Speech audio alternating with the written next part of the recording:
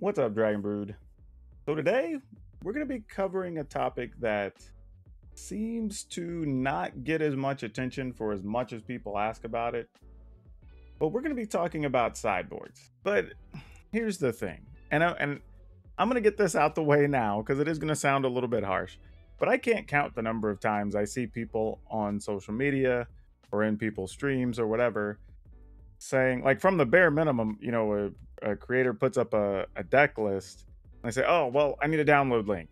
Well okay they provide that and it's like well i need a sideboard. Oh, well i need a sideboard guide. And just like people are asking a lot of already people who are putting in time. I know i've spent like full work days effectively working on one deck list.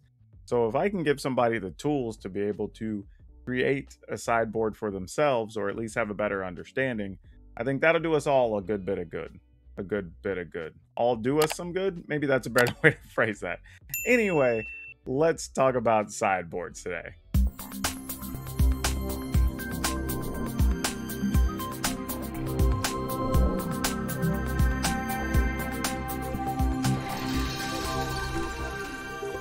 Also, quick word to a partner. Remember to check out shop.ultrapro.com if you want to get anything to outfit your decks, sleeves, actually, even if you want stuff for non magic stuff, they have a lot of stuff for like Pokemon and anime and things like that as well.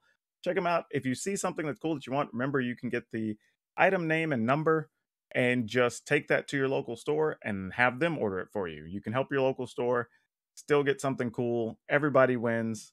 And Ultra Pro is a big supporter of local game stores. All right. So, getting into the content today we are going to cover kind of two aspects. So the first thing I want to do is talk about the fact that some people may not care about sideboards because you only play best of one formats, right? Uh, but some people do want to try best of three, but they don't necessarily have the tools to do so because you do need to understand at least building a sideboard. So let's go ahead and take a look at that first. And then we'll probably do a part two where we talk about sideboarding techniques as far as what's good and bad in different situations. But for now, today we're just going to cover the construction of the sideboard itself, because I think that's kind of like step one to kind of get everybody to a position of confidence. But looking in here, we're going to look at a mono green deck. So this is something simple. It's a one color deck. It's just a creature deck trying to do some big things, run the opponent over, right? So it's easy to understand. But when we go into the sideboard, we kind of have a sideboard that's just all over the place, right? And the question becomes is this a good or a bad sideboard? Personally, I would say this is very medium because it's largely unfocused. As an example, here we have multiple removal cards in the form of Blizzard Brawl, Inscription of Abundance, and Ram Through. Now, which one of these do we want more of, or do we want two of them? Uh, part of the, the issue too is you have to figure out how much space you can maximize or what you need to dedicate to. That's kind of the first thing here because you need to understand what's a problem for you. And oftentimes that comes down to what does the format look like. In this case, I'm not sure a hundred percent which one we want, but let's take a look back at the deck itself knowing that something like ram through requires you to have doesn't require, but it gets a benefit from you having trampling creatures. We kind of take a quick cruise through the creatures and say, okay, well, Old-Growth Troll has trample, and Gemrazor has trample or can give something trample. We do have an Elder Gargaroth. We've got Vorinclex. It's like, okay, maybe we want more ram throughs. And it's an instant speed removal, which is also fantastic. So if you can have something at instant speed, that's usually preferred. So let's increase this and let's remove the inscriptions of abundance. They are nice, but not necessarily the thing we need drastically. And then let's go up on Blizzard Brawl. And again, I want to check the rest of the deck and say, okay, we are playing a bunch of snowlands. So the odds of us being able to get to four or three snowlands to be able to get the advantage from Blizzard Brawl is actually not that hard. So that makes a lot of sense. So let's go ahead and make sure we up the Blizzard Brawl, we up the Ram. Now, the next question might be like, well, why so many removal cards and what do we want them against? Well, I think it just depends on what the format looks like. There are some times where you might want ram throughs in a field of a bunch of like tokens or small creatures, right? If you're trying to fight bigger things, maybe you want more Blizzard Brawls. You know, but ultimately, we may end up just reducing down to a single removal card even when this is all done. Depends on what the rest of the deck looks like and the format looks like. Because as we go through here, one of the things I see a lot of people make a mistake of also is putting, I guess we'll call them flashy cards into the sideboard. The truth is, the sideboard is not where your flashy cards go. Mostly because when you're bringing something in from the sideboard, it's because you need it. You're rarely going to need the flashy thing. So if you can't say specifically what this card does or why it would be used or what deck it's good against or anything, why are we putting it in the deck? I mean, we can kill a flyer with a Blizzard Brawl or a Ram Through, or even the card we took out when you're talking about uh, the Inscription of Abundance. All of those things are better than playing Nylea's Intervention to just kill a flyer, especially since you can do it for less mana with each of those cards in most cases. So this card definitely shouldn't even be in the sideboard. If you want to play anything flashy, those should be like one ofs or two ofs or something in your main deck for fun and flavor. But the sideboard has no room for flashiness. It really is just function. like that is it. If the card doesn't have a function, it doesn't belong in your sideboard. So that already frees up a spot if we want it for something.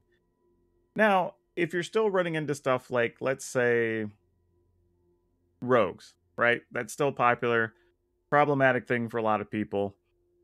Or you're playing against decks that also just go long, maybe a bunch of removal heavy decks. Then something like Chainweb Aracnir is a very good card, right? There's a chance you'll get to play it out of the graveyard again later. It's going to be bigger.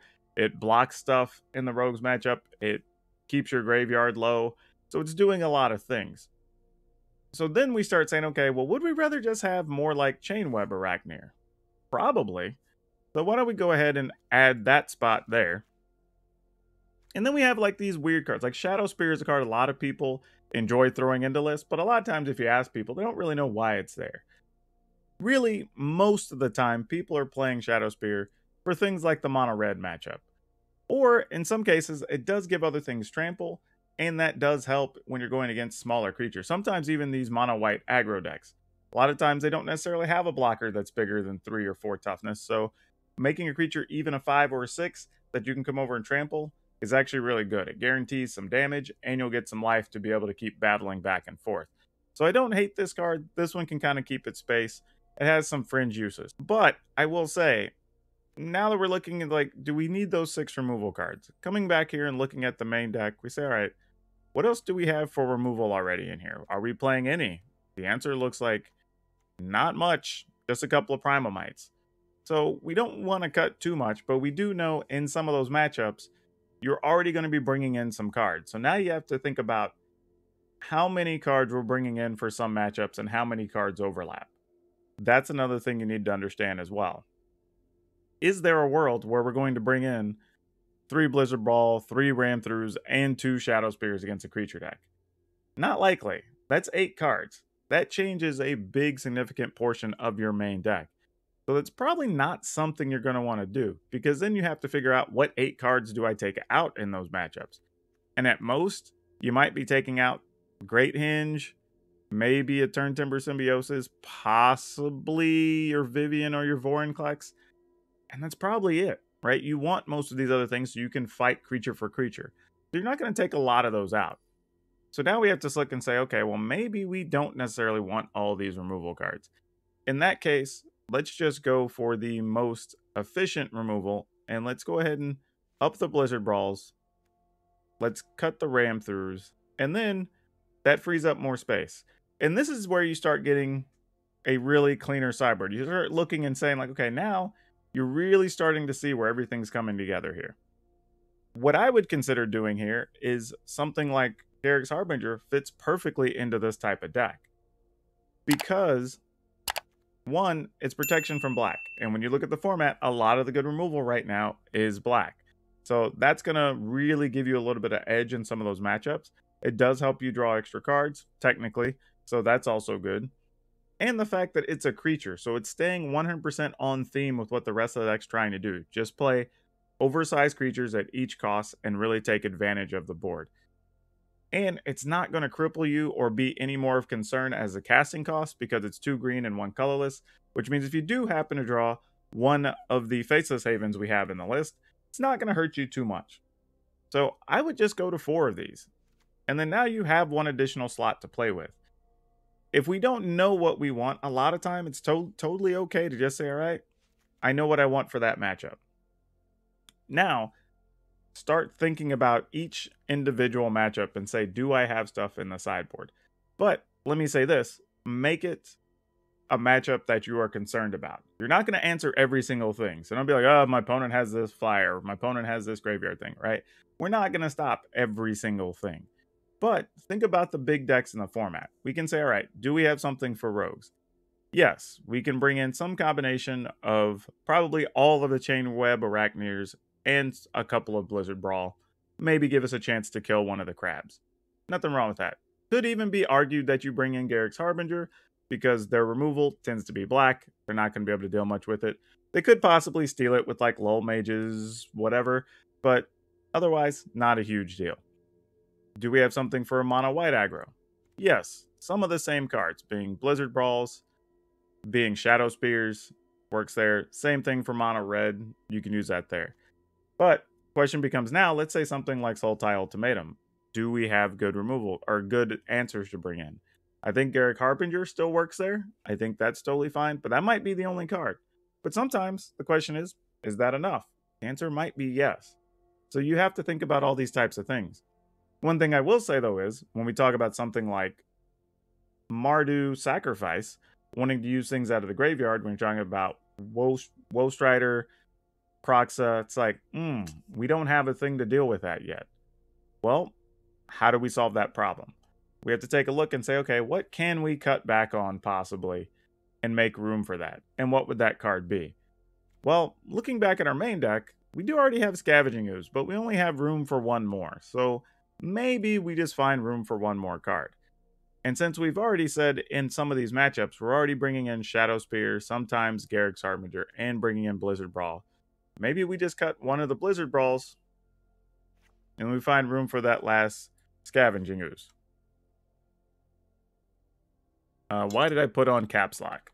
uh, all right, Scavenging Ooze. Cool. We'll put the fourth one there. So now this is starting to look like a good package of cards, right? We have stuff for most major matchups. If something else pops up we can't deal with, well, we just have to take it for what it is. Now, I will say, we still have a situation here, though, that we say, man, we don't have anything in sideboard to deal with artifacts and enchantments. The reason we skipped over that is because your main deck is already handling some of that in the form of Gemrazor. So you don't have to go way out of your way. And there's not that many enchantments and artifacts we're worried about right now. So this is probably going to solve the majority of your answers. Now, we're not talking about the overall quality of the deck or anything like that. This is mostly just saying if this were a deck we were choosing to play, does this sideboard make sense? I believe it does. It covers a lot of our major bases and you kind of get to see the process there of why we trim the cards we did. And this gives you a variety of things that you can use in all of those different matchups. You should rarely be stuck with a situation where you say, man, I just don't have anything to bring in here. Now, for those of you that watch the channel, this is a Sultai Zombies deck that I put up, I guess like a week ago or so. And this is one I didn't have a sideboard for at all on this list. And another thing too, some people ask, why don't I build more decks with sideboards. The reality is, most of these I'm playing best of one because it's better for content because I make 30 minute videos and I want to show more matches against more deck types. So I'm not even worried about that and I leave that to the viewers to do what they want to do. But sometimes when I do have a little extra time, I go ahead and toss one in there. But now, hopefully, when this is done, you'll be able to do it yourself. But the reason I bring this one up is this is a little bit different. This is also a creature deck of sorts, but it's on a whole different plan. This is playing a little bit of a longer game, but also it's a theme deck, so that can affect some of our choices too. So looking at this, we're saying, okay, we know what the deck is. You're trying to remove some of your opponent's early stuff. You're trying to play the long game with your zombies. Maybe get something like Narfi out late or Reflections and really come across. And then you have Polukranos, that's a big hitter, right? So it's just quality, all around solid deck, making use of zombies and snow creatures. So that starts us saying, okay, well, let's look at snow and see what else we could bring in. Is there anything in the theme that we want to begin with? Because this will also help your deck when you're trying to sideboard cards in. You won't be disrupting what you're trying to do that much. But there's really not a lot. Like I said, again, we have the option of Blizzard Brawl because this is a snow deck of sorts. So if we want a couple of removal, we can we can stick a couple over there for creature fights. Maybe even an additional blood in the snow. We have one main, we can stick one in the sideboard. Or maybe if we're going against other big creature decks and we just can't seem to get rid of them, uh, that's a thing we could consider. Though I don't think there's a ton of other snow things we're actually going to want. Yeah, it looks like there's not that much to pick from. Uh, arguably, I would say something interesting you can do here is put some Faceless Havens in the sideboard. How many snow lands are we playing? We're playing 1, 8, 10. So maybe that's not enough. So we can't really look at that. Neat idea, but probably isn't going to cut it. Now, a card I would say you can use for some of those uh, matchups would be something like Crawling Barrens.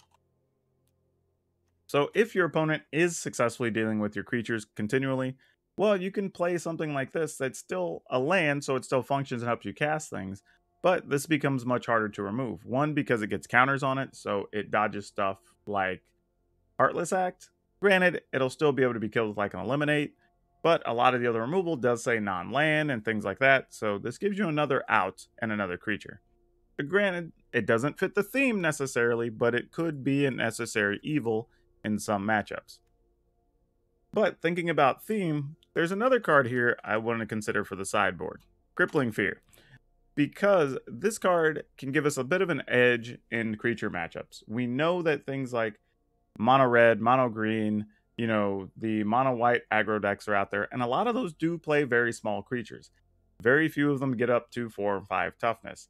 So it's possible you could play a zombie on your first couple of turns, maybe even your third or fourth turn, and then you play Crippling Fear, leaving you with the creatures and your opponent with none. Maybe they have one left, something like that, but it becomes much easier to deal with that. So maybe you put a couple of Crippling Fear in here because you, because you're playing on theme. This gives you the opportunity to deal with your opponent's creatures en masse and not harm any of your own. Then again, we come back and talking about some of these other options. Like we have access to three colors here, so this does open things up quite a bit for what we could do. But again, let's look at zombies and just say, hey, what other zombies are there that we could take advantage of here? Not a whole lot, unfortunately. We have stuff like Ephemia, which is neat, but we don't have a ton of enchantments. We could play another Priest of the Haunted Edge, but that's really just a blocker more than anything else, so we probably don't want to do that. I don't mind putting in a Mur- Murderous Rider as another removal, but also a way to deal with Planeswalkers. I like that quite a bit. And then we kind of start looking and nitpicking and saying, okay, what can we do? Maybe we, if we know somebody's playing a lot of removal, we could go ahead and bring in Rise of the Dread Marn. Maybe if they play a sweeper or something, we can get two, three extra zombies out of it. I don't hate having that in the side. It does a lot of what we want. Some people really want to play cards like Necromentia. This is there's I won't say debates, but it's a type of card that if you know what your opponent's playing and they have a single thing that's bad for you, well then just go and get it. If you're worried about Emergent Ultimatum, for instance, against the uh Sultai Ultimatum decks with Yorion, you go ahead and just play this. Right? So we'll put two of those in the sideboard. We do have other discard already in the main deck in the form of Duress. But I don't mind against control decks, heavy creature removal decks, like we said, the Yorion decks. Go ahead and just play another one. We'll just get the fourth copy in there. And then because we don't have really ways to deal with artifacts and enchantments, which are pretty wide ranging, and I don't know what we're really going to need to worry about, let's go ahead and play a couple of things here, probably in the form of Wilt. And the reason I'm going with Wilt as my well, actually, here's what I do sometimes if you just want to know. I can put in like destroy enchantment. And then that way I can just see all the cards let me destroy enchantments. And right now, it's like, what are we really concerned about? Not a lot. You know, when you say, okay, return to nature is really nice. Are we worried about exiling a card from opponent's graveyard? Eh, sometimes, but maybe with only one deck right now, so it's not that big a deal. So I would rather take something like Wilt that does allow me to cycle. So if I don't need it at that point in the game, I can get rid of it, maybe find another answer. But sometimes also just putting a card in the graveyard because maybe I need to use something like Polukranos and I don't have enough things in the yard yet. So let's go ahead and put in a couple of Wilt in here. Now that we have this kind of built out, we say, okay, we've got a Duress for those slower matchups. We have Necromentia we might be bringing in, so we don't hate that. Rise of the Dread Marn, okay. But now that means against those matchups, we're probably bringing in five cards, possibly six or seven. That starts to become quite a bit. So we have to say, okay, maybe something like Rise of the Dread Marn, while nice, is not necessarily the card we need because we're going to be bringing in too many cards in that type of situation. And maybe that's not really what we need. And we're talking about bringing in Crawling Barrens too. Though Crawling Barrens is mostly just going to be a land and not really overpowering anything else, but something we do have to think about. So maybe here we say, all right, maybe Rise of the Dread Marn isn't the answer we want. And maybe we can get some extra stuff to deal with graveyard things in the form of Elspeth Nightmare. This can function as another removal against smaller creature decks, it can actually be brought in against the slower control decks because the second chapter that lets you take a non-land, non-creature card is almost always going to hit. And I think sometimes people forget about that. So this is actually a pretty flexible card to have in the sideboard. So now running this down, we've got a Duress, two Blizzard Brawl, two Wilt, two Elspeth's Nightmare, one Murderous Rider, two Necromentia, two Crippling Fear, one Blood in the Snow, two Crawling Barrens. The weakest card now actually is starting to look like Blizzard Brawl because we're saying, okay, well, we have Murderous Rider that's coming in, and possibly Elspeth's Nightmare, and Crippling Fear, and or Blood in the Snow. So maybe Blizzard Brawl doesn't get to cut it anymore, right? Now it goes away. And then we have to say, okay, well, what other matchups are we possibly going to bring some cards in for? And now we just start talking about just versatility, and maybe we come back to something like the Spider that we were playing uh, in the green deck Chainweb Aracnir, because it does have uses again against rogues and things like that. It's good against long game matchups where you can play it out of the graveyard. It just does a few different things that are solid, even though it's not on theme and it's not a snow creature and it's not a zombie. Sometimes you just play cards because they're useful and fit what you're trying to do. But I think here, this is kind of a whole different way to build a sideboard because you're trying to take into account the theme of what you're already doing in cards in your deck that work with these, not just only solving problems. So you can go two different ways with that. Now, I will say, depending on how you're building your sideboard, that comes down a lot to what the rest of the format looks like. Because it's not going to do you a lot of good to put cards in the board that you're not going to really use. That said, a lot of times you just don't know that right off the bat, especially right when a new set comes out or there's a major fall rotation. You're just not going to know. So all you really do is think about large themes and just say, okay, let's worry about control decks, about aggro decks, maybe things with enchantments, maybe things with graveyards, and really start filling that out. And then over the course of the first two to three weeks, you go ahead and let that settle in, and then you make adjustments as necessary. Trying to solve it all at one time just isn't going to do a lot of good. Almost every good player is going to tell you that those sideboards come together over the course of weeks, sometimes hundreds of games that they play it's rarely going to be the first thing you put together and that's going to be it. So don't beat yourself up too much if you feel like you didn't get it right on the first go. The odds are you probably did. But this should be a good start. Now, like I said, there's going to be probably a part two we're going to talk about specific instances on how to sideboard. But for now, this should be a good starting point to get a lot of you jumping off to creating sideboards for a lot of those best of one decks, especially if you're going from best of one, at least attempting best of three for the first time, or maybe even coming from something like Commander and jumping right into best of three to try to be more competitive. Hopefully, this answers a lot of those questions for you and at least get you that bit of confidence to at least take that first step. And remember, if you haven't, please like this video, hit the subscribe button, hit that notification bell because that lets you get notified every time I have one of these strategy videos up, but also lets me know that you appreciate what I'm doing. And as always, let me know down in the comments if you like this type of commentary, I guess, or if you want to see something else, or you have an idea for something, or if you learned something from this that stood out for you. So that's all I have for you for now. We'll see you next time.